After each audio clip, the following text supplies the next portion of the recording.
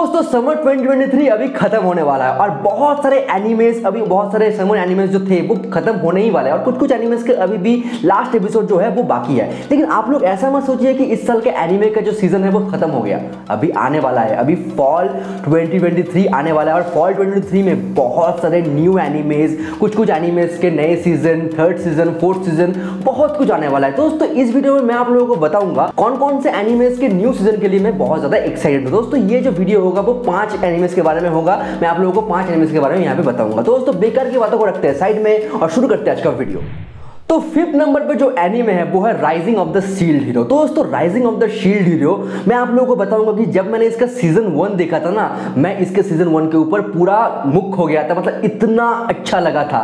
मैंने इसका season one जो है, वो आठ घंटे के अंदर खत्म कर दिया था। आप लोग सोच सकते हैं कि इसका जो स्टोरी था, इसका जो सब कुछ था, मेरे को बहुत अच्छा लगा था। और यहाँ पे जो मेन कैरेक्टर था नामफू में उसका जो जर्नी था यहाँ पे, वो भी मुझको बहुत अच्छा लगा था। और वहाँ पे जो मेन चीज़ काम करता था ना, वो है रिवेंज स्टोरी वो जो लड़की के ऊपर अपना रिवेंज लेता है, जैसे करके सीज़न वन खत्म होता है, बहुत ही अच्छा है, बहुत ही अच्छे कैरेक्टर्स है, बहुत ही अच्छा बिल्डअप है, जो ओपी हम लोगों को दिखाया गया है। क्योंकि आप सभी लोगों को पता है कि शील्ड हीरो का मतलब है शील्ड लेकर चलना। और वहाँ पे सब सब लोग समझते थे कि शील्ड लेके ये क्या फाइट करेगा। लेकिन वही वहाँ पे सबसे खतरनाक बंदा है, सबसे पावरफुल बंदा है, वो देख के मुझको बहुत ही अच्छा लगा था। और उसके बाद इसका आया था सीज़न टू तो सीज़न टू के लिए मैं बहुत ज़्यादा एक्साइटेड था, इसके जो ट्रेलर्स थे मुझको बहुत अच्छा लगा था, इसका जो हम लोगों को वॉलपेपर दिखाया गया था, वो भी बहुत अच्छा लगा था। लेकिन to be honest with you season two जो था, वो पहले पाँच एपिसोड में बहुत ही बेकार था। मैं आप लोग को यही बोलूँगा कि वो मेरे को अच्छा नहीं लगा था, क्योंकि स्टोरी कहाँ पे, कहीं पे प्रोग्रेस ही नहीं हो रही थी, वो सेम ही ट्रैक पे चल रही थी। लेकिन इसके बाद इसका जब क्लाइमैक्स आया ना, उसने सीज़न टू को थोड़ा मोड़ा बचा लिया। अच्छा ठीक ठाक था, चल जाएगा। और उसके बाद इसका अनाउंस हुआ सीज़न थ्री सीज़न थ्री मेरे को पता नहीं कि क्या करेंगे वो लोग क्या क्या करेंगे। मुझको तो ऐसा लगता है कि सीज़न टू की तरह भी इसको ही थोड़ा मतलब स्टोरी मोड़ी ऐसे करके दिखा देंगे, ऐसे करके। लेकिन ठीक है, इसका सीज़न वन मुझको बहुत अच्छा लगा था तो इसके लिए मैं सीज़न थ्री के लिए बहुत ज़्यादा एक्साइटेड हूँ। और ये एनिमे रिलीज़ होने वाला है अक्टूबर सिक्स ट्वेंटी को।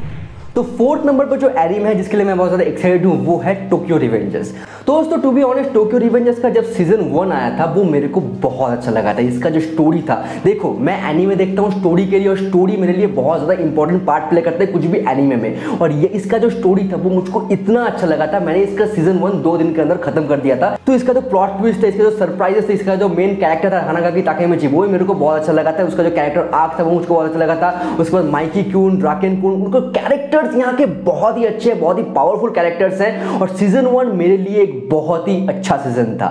इसके बाद आता है सीज़न टू सीज़न टू में उन लोगों ने वो जो क्रिसमस आर्क है, उसको अडेप्ट किया था। तो टू बी ऑनेस्ट तो सीज़न टू मुझको अच्छा तो लगा था, लेकिन इसका जो एनिमेशन था, वो बहुत ज़्यादा डिक्रीज कर गया था। आप लोग अगर देखिए सीज़न टू का एनिमेशन वो बहुत खराब है। टोक्यो रिवेंजर्स में सब कुछ ठीक है, मैं आप लोगों को सब कुछ बताऊँगा, ठीक है। लेकिन ये जो एनिमेशन ये लोग करते हैं ना, वो ऐसे ऐसा लगता है। मुझे पता है, मैंने इसका मांगा भी पढ़ा हुआ है। मैंने पूरा प्रोग्राम इसका मांगा खत्म किया हुआ है। लेकिन मैं आप लोगों को यही बताऊँ कि मांगा में जो हम लोगों को दिखाया गया पैटर्न वो ज़्यादा अच्छे एनिमे से। मैं ऐसा मुझको लगता है, मेरे मेरे को पर्सनली लगता है। आप लोगों को क्या लगता है, मुझे कमेंट सेक्शन में ज़रूर बताइएगा। तो दोस्तों, इसका जो सीज़न थ्री होगा, वो केंजिको आर्क को अडेप्ट करेगा। और ये आर्क एक बहुत ही ट्विस्टेड आर्क होने वाला है। यहाँ पे नए कैरेक्टर्स आएँगे, नए बहुत कुछ यहाँ पे दिखाया जाएगा हम लोगों को टोक्यो रेवेंजर्स के वर्ल्ड के बारे में। यहाँ पे हनागा की ताकेमिची का एक बहुत ही अच्छा कैरेक्टर डेवलपमेंट होगा। माइकी कुंग को दिखाया जाएगा, सबको दिखाया जाएगा। तो इसके लिए मैं सीज़न सीज़न थ्री के लिए बहुत ज़्यादा एक्साइट हूँ। तो और दोस्तों, आप लोग सीज़न थ्री को इंडिया में लीगली डिज्नी प्लस हॉस्टल पर देख सकते हो। और अगर आप लोगों ने अभी तक सीज़न वन और सीज़न टू नहीं देखा, वो भी आप लोग डिज्नी प्लस हॉस्टल पर देख सकते हो। और दोस्तों, इसका जो सीज़न थ्री आएगा, वो अक्टूबर थ्री ट्वेंटी को आएगा। तो थर्ड नंबर पर जो एनिमे है, वो है spy x family season two तो दोस्तों, अगर आप लोग मेरे वीडियो में स्क्रॉल करोगे, एकदम नीचे जाओगे ना तो तब आप लोगों को दिखाई देगा कि मेरे चैनल का जो फ़र्स्ट वीडियो था, वो था spy x family season one का रिव्यू मैंने वो वीडियो वहाँ पर डाला था क्योंकि उस वक्त वो एनिमे ट्रेंड कर रहा था। और दोस्तों आप लोग चाहो तो देख सकते हो वो वीडियो वहाँ बहुत ही खराब हिंदी बोला है बट ठीक है। वो मेरा फ़र्स्ट वीडियो था और स्पाई एक्स फैमिली मैंने इसलिए देखा था क्योंकि इससे ज़्यादा होलसम मैंने में उस समय नहीं निकला था भाई। मतलब इसके जो कैरेक्टर्स देख लो आप लॉयड योर और the main focus Anya I I mean mean, मैं आप लोगों को बोलूँ कि स्पाई एक्स फैमिली अगर सिर्फ़ लॉयड और योर होते ना तो एक ठीक ठाक सा रोमांटिक होता है। लेकिन और यहाँ पे जो जान डालने का काम करती है वो है आनिया चाँद। आई I मीन mean, उसका कैरेक्टर देख लो यार। अगर आप लोगों को कोई डिप्रेशन है ना उसको देखोगे वो ऐसे वकू वकू करेगी आप लोग स्माइल करने लगोगे। लिटरली उसका जो कैरेक्टर है, उसका जो मतलब जो बचपना है और सब कुछ यार, इतना ज़्यादा क्यूट है, इतना ज़्यादा क्यूट बच्ची है वो। उसको देखने के लिए मैं, क्या बोलूँ, उसको मैं हर वक्त देख सकता हूँ एनिमे के अंदर। वो ऐसी कैरेक्टर है। और यहाँ पे हम लोगों को बहुत कुछ दिखाया गया था। सीज़न वन में दो कोर हुए थे, जहाँ पे पहले कोर में ट्वेल्व एपिसोड्स थे और उसके बाद कुछ महीने पहले इसका सेकंड कोर निकला था, जहाँ पे भी ट्वेल्व एपिसोड्स थे। तो आप लोग बोल सकते हो कि सीज़न वन में टोटल ट्वेंटी एपिसोड्स थे। और इसका जो स्टोरी ऐसे रैपअप हुआ था, वो बहुत ज़्यादा एक्साइटमेंट देता है सीज़न टू के लिए। और सीज़न टू के लिए मैं बहुत ज़्यादा एक्साइट हूँ। बहुत सारे कैरेक्टर्स को देखने के लिए एक्साइट हूँ, जैसे कि ऑब्वियसली अनिया लॉयड, योर, सबको देखने के लिए बहुत ज़्यादा एक्साइटेड हूँ। और दोस्तों, अगर आप लोगों ने अभी तक season one Spy X Family का नहीं देखा है तो अभी जाके देखो। म्यूज इंडिया और म्यूज एशिया चैनल पर यूट्यूब में आप लोगों को मिल जाएगा। वहाँ पे जाके अभी जाके देखो। अगर आप लोगों को डिप्रेशन होगा, आप लोगों के मुँह में ऐसा स्माइल चिपका देगा वो एनिमे ऐसा है वो एनिमे और दोस्तों, मैं आप लोगों को ये बताना चाहता हूँ कि इसी साल स्पाई एक्स फैमिली का एक मूवी भी निकलने वाला है, जिसका नाम है स्पाई एक्स फैमिली कोड वो शायद दिसंबर में आएगा, लेकिन स्पाई एक्स फैमिली का सीज़न टू आएगा अक्टूबर सेवन ट्वेंटी तो सेकेंड नंबर पर जो एनिमे है, वो है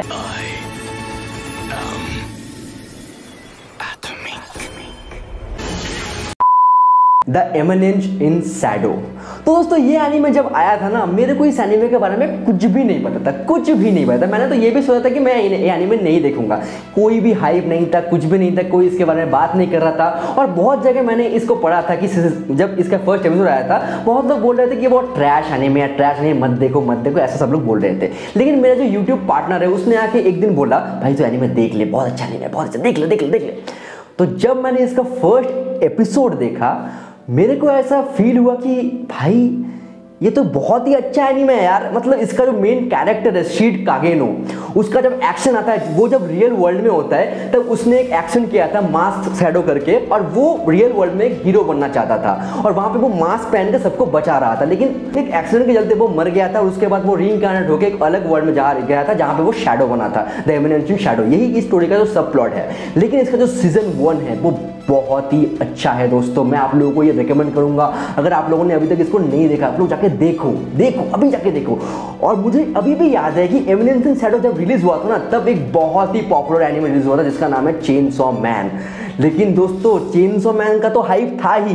ये एनीमे भी बहुत हाइट में था, बहुत वीकली एनीमे में ये एनीमे टॉप पे चल रहा था माइंड ऑफ़ डलिंग टॉप पे चल रही थी, बहुत कुछ हो रहा था, लेकिन एमिनेंस इन शैडो अपना जो नाम है एनीमे का जो पोटेंशियल है, वो हम लोगों को देखने को मिल रहा था, इसका सब कुछ अच्छा था, और सबसे जो मेन चीज़ था, वो इसका डायलॉग्स थे यार, वो जो मेन कैरेक्टर असल ज़िंदगी में तो बहुत ज़्यादा अपने आप को वीक दिखाता है, लेकिन जब वो पावरफुल मतलब अपने पावर में आता है, उससे ज़्यादा पावरफुल कोई भी नहीं है दुनिया में।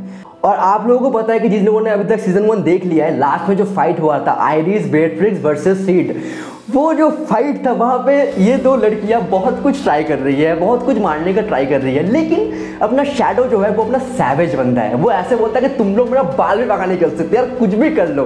कुछ नहीं कर सकते, मेरे को कुछ भी नहीं हुआ है।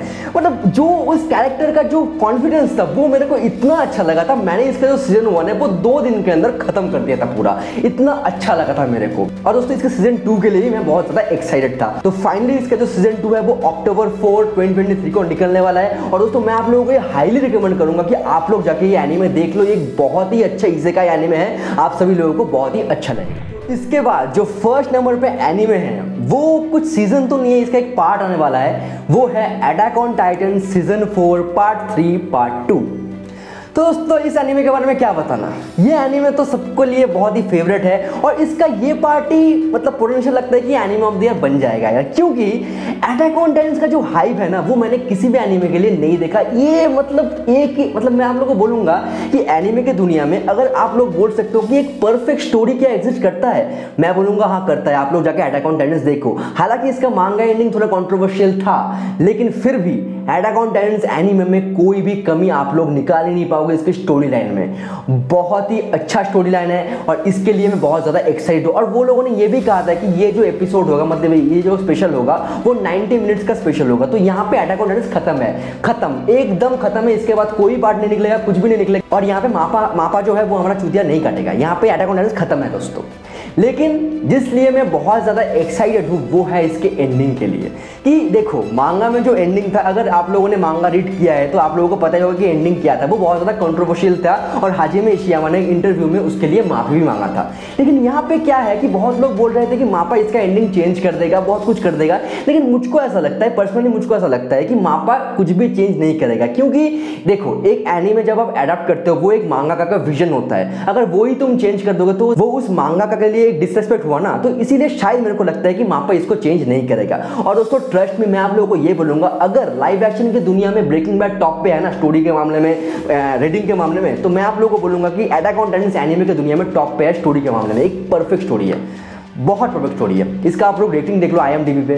9.9 बहुत सारे बहुत सारे एपिसोड का रेटिंग है 9.9 सोच सकते इसमें पोटेंशियल अगर आप लोगों ने अभी तक, मुझको पता है कि बहुत सारे एनिमल फैंस अटैक ऑन देख लिया, लेकिन अगर आप लोग वो हो, जिन्होंने अभी तक अटैक नहीं देखा तो बहुत अच्छी चीज़ मिस करो, अभी जाके देखो। सब कुछ, चार season part two part three सब कुछ जाके देख लो। बहुत ही अच्छा एनिमे है। तो दोस्तों, इस एनिमे के लिए बहुत ज़्यादा एक्साइटेड हूँ, और ये एनिमे निकलने वाला है नवंबर सिक्स 2023 को। दोस्तों, ये था आज का वीडियो आशा करता हूँ आप लोगों को ये वीडियो बहुत पसंद आया होगा। आप लोग मुझे कमेंट सेक्शन में ज़रूर बताना कि आपके कौन कौन से पाँच एनिमेस है जिसके लिए आप बहुत ज़्यादा एक्साइटेड है। और तो इसका मैं सेकंड पार्टी बनाऊँगा, जहाँ पे मैं आप लोगों को ये बताऊँगा कि जिन जिन एनिमेस के एकदम न्यू सीज़न निकलने वाले हैं मतलब न्यू एनिमेस निकलने वाले हैं तो उस एनिमेस के बारे में आप लोगों को बताऊँगा। दोस्तों, अगर ये वीडियो आप लोगों को बहुत पसंद वीडियो को लाइक कीजिए। और अगर आप लोग मेरे चैनल पर नए हो तो सब्सक्राइब कीजिए। मैं आप लोगों के लिए बहुत कुछ वीडियोस लाता हूँ। और अगर आप लोग मुझको सब्सक्राइब करोगे तो आप लोगों को कुछ भी नुकसान होगा, बल्कि मुझको फ़ायदा मिलेगा, मुझको मोटिवेशन मिलेगा आप लोगों के लिए और भी अच्छे अच्छे एनिमे कॉन्टेंट लाने के लिए। दोस्तों, मिलते हैं एक नए वीडियो में, एक नए एनिमे कॉन्टेंट तब तक के लिए जय हिंद।